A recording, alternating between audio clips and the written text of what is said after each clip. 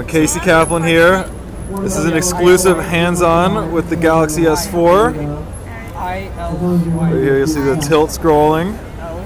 Thank you guys for coming out today. It might not be turned on on that one. There we go. I-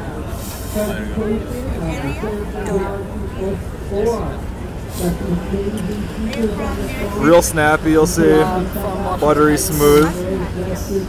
Um, they just told us that it comes with two. There's two models. They come with uh, different processors. They won't tell us what these have. One's a quad core, one's an octa core. Let's see what OS it's running.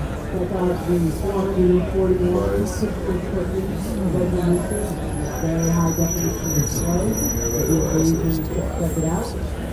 high definition display. Check it out. We the camera. The front view, the front view is 30 megapixels. New uh, settings on this, you'll see. Simultaneous video phone technology is available through the device. Samsung Galaxy Much, How, much how, more. how different it is from the last one? Running 4.2.2, newest version of Jelly Bean.